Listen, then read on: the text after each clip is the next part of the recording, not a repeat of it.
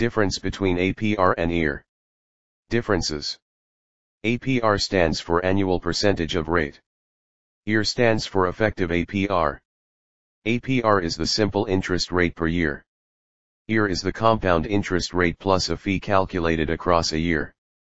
APR is calculated as the rate for payment period, multiplied by the number of payment periods in a year.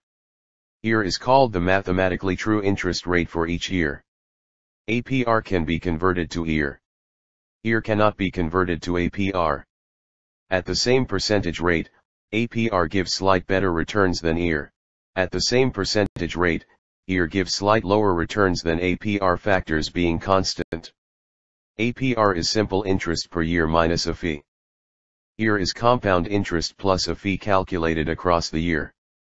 Similarities both are descriptions of the annualized interest rate rather than the monthly rate calculated on a loan or mortgage. Both terms carry legal jurisdictions in some countries.